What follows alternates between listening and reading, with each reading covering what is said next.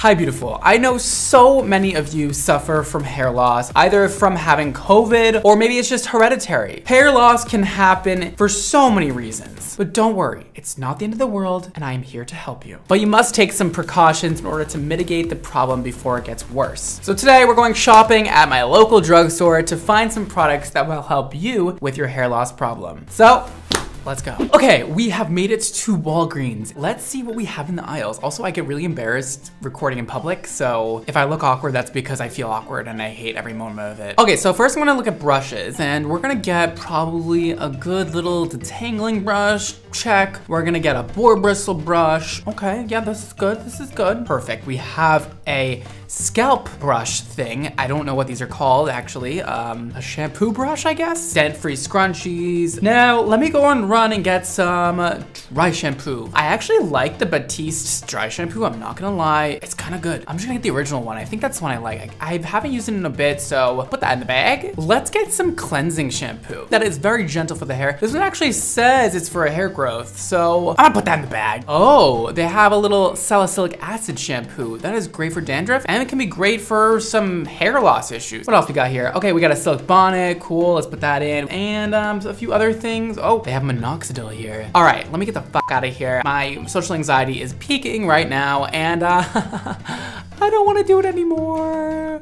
So um, there are people staring at me and I need to go. I'll see you when I get home.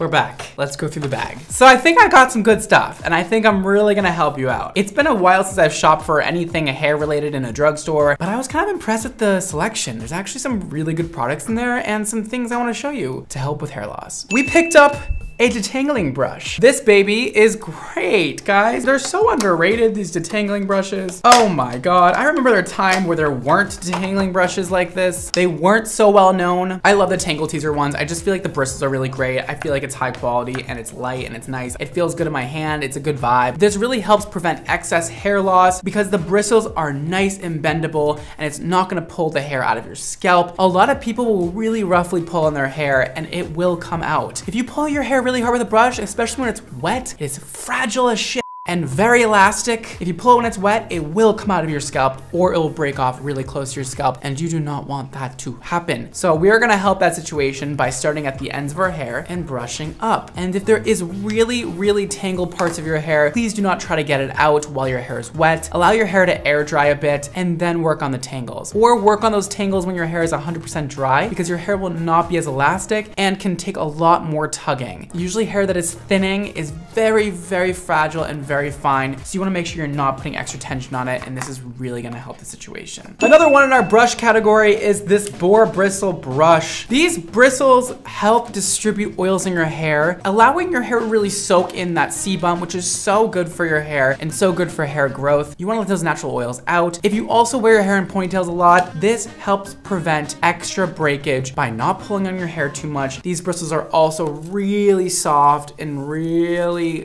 bendable, so you're not gonna put extra tension on your hair. You're gonna get that oil moving throughout. And it's kind of just brushing the surface of your hair where a lot of brushes go really deep and you end up pulling on more hair than you actually need to. This is great for people like me who have a very, very fragile hairline. And if you put any kind of, even like a detangling brush on it when it's dry, oh my God, it will pull, it will hurt, and it, I will lose hair. I will have 10 hair strands on my brush. I always use something made out of boar or a synthetic and boar mix, something like that to not put too much attention on my hairline. I love these scalp brushes for shampooing, but I use them for so many different things. If you've never seen one of these before, this is what they look like. They have these little bendable, little prickly things on here, but they feel so good on your head. Oh God, it gives me chills. I love it. This is great for when you're shampooing. It helps really clean up that scalp. If you have a clean scalp, it really helps with hair growth. That doesn't mean you should wash it every day. You should wash your scalp at some point because sometimes you can get buildup on your scalp, preventing your hair from growing. When you're shampooing your hair, sometimes your hair can snag on your nails if you have a sharp nail or a little bit of a hangnail situation going on. Also, your nails can be a bit too abrasive for your scalp. Your scalp is pretty sensitive and can't really take a lot of that aggressive movement. These soft bristles help you so that you're not putting any abrasions on your scalp or being too rough on it. You don't want to put little cuts in your scalp. It's just not good for it. You want to take care of that scalp. If you love your scalp, your scalp will love you back and produce more hair and it'll be a great relationship you guys have. This also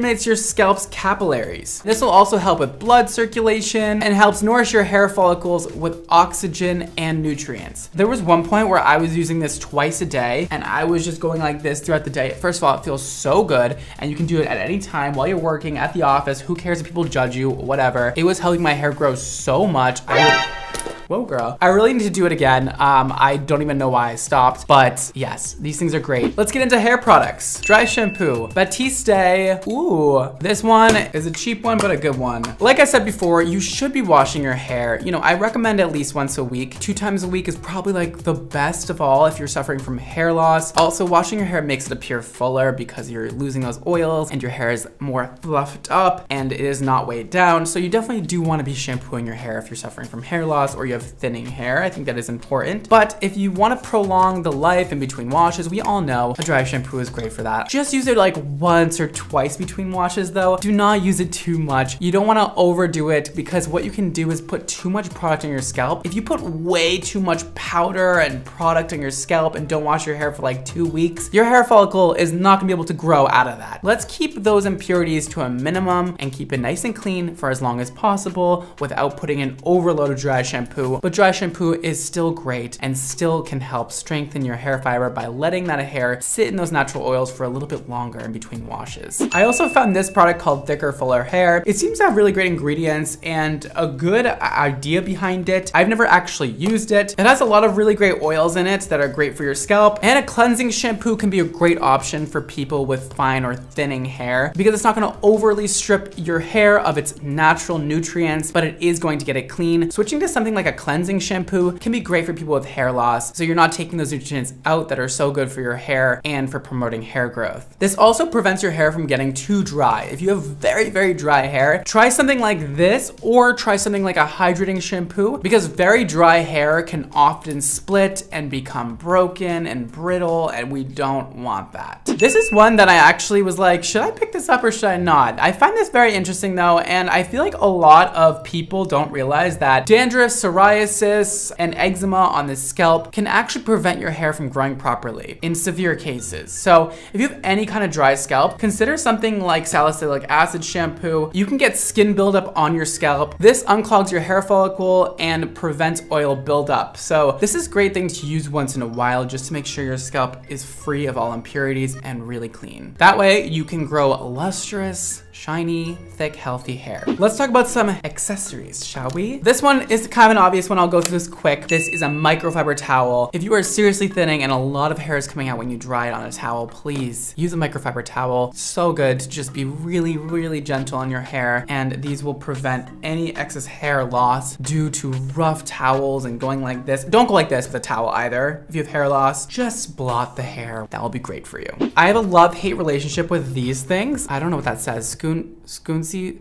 spirals scrunchy? I don't know. I think they're absolutely hideous, but if you're going to the gym or like something casual, sure, why not? I know that these really are nice on the hair, especially the ones that are not matte, like the shiny ones. The glossier material does not pull on your hair at all. These are just great for people with fine thinning hair because they don't pull. They're not gonna add any more stress on your hair than needed, and it's just a great little item so that your hair stays intact and doesn't get pulled on at all throughout the day, even if you're wearing it in a ponytail, because ponytails can be really stressful for the hair. Let's talk about a satin bonnet. I see a lot of people getting satin pillowcases or silk pillowcases and like, I don't like the way they look. So for me, like a satin bonnet is just so much better. Also, when you're sleeping, if you turn side to side and toss around all the time, you know that you wake up with matted hair underneath your head or on top and it gets really wild and people often comb it and brush it really, really hard in the morning. It's not good. Let's prevent that because what can be happening is your hair can literally be snapping while you're sleeping, okay? People with thinning hair often don't have strong hair. So if you want that hair to stay intact, let's make sure we are protecting our hair while we sleep. That way it's not all tangled in the morning and we have to rip it out with a brush. Not a good idea. This also just helps your style last longer because you have it all in this bonnet and it's staying nice and fresh all through the night. This soft material makes sure your hair doesn't get too tangled while you're sleeping. They're just a great useful tool and super easy to use and a super easy way to make sure your hair is not getting pulled out. We have a little medication moment. Ooh, ah. This is a minoxidil treatment, 2%. Minoxidil can be really effective for a lot of people, but not everybody, okay? It does not work on everybody. I am the person who it doesn't really do anything on, but this can really affect your hair growth in a great way. It basically shortens the resting phase of your hair and speeds up the process of growing new follicles. You do have to use this every single day. You have to put it right on your scalp. It's a little annoying, but it can be really effective. And this has been studied heavily and there's been clinical trials. We do know it's actually effective on a lot of people. So if you're suffering from severe hair loss or a thinning hairline, this can be really great for you. But beware that if you stop using it, the effects will go away. So you must routinely use this forever if you wanna maintain the results. And lastly, we have a multivitamin. However, however, first of all, I wanna say this is one that you need to consult with your doctor about and get tests for. I just picked up a multivitamin for an example of something you could take, but you could be definitely deficient in vitamins or you could have hormonal problems going on. This might not be something that you actually have, but you should consult a doctor to see if these things are affecting your hair loss and then go out and get the vitamin that you need. I know a lot of people out there, maybe you, do not have a proper diet where they're getting the nutrients they need in order to help their hair grow properly, and then you are deficient in some vitamin, it really won't be a good combination. So let's get the vitamins we need, and uh, these are easy to find at the drugstore, obviously, and um, it's a good thing to have for growing your hair. I would say that was a successful mission to the drugstore, and we found a lot of great items. I hope that helps you and helps prevent more hair loss and helps you recover some of the already lost hair. I know how much hair means to so many people, especially me, so please do yourself a favor and adopt a healthy hair care routine with all the necessary items to prevent excess hair loss and regrow new hair. I hope I helped. Make sure you guys check out my hair care or my hair color line. It is called Xmondo. You can go to xmondohair.com or click the link right below to check out our products. And that is all for today, guys. Thank you so much for watching. Don't forget to live your extra life, and I'll see you next time. Bye.